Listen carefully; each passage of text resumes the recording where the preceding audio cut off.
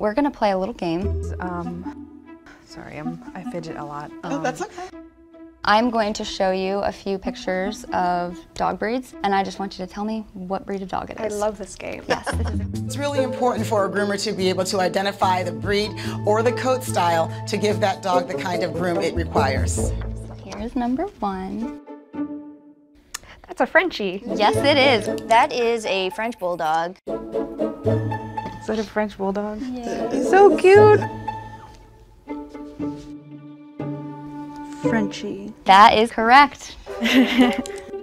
okay, That looks like a Bichon or possibly a Havanese. this one was our hard one. So Ooh, okay. Um, I'm gonna go with Bichon.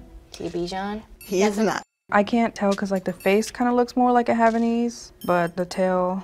Uh, Coton de Tulear. You are the first one to Great get job. Coton. That's right. Yeah, that's little. The Job Interview, all new Wednesday at 10. CNBC, get yours.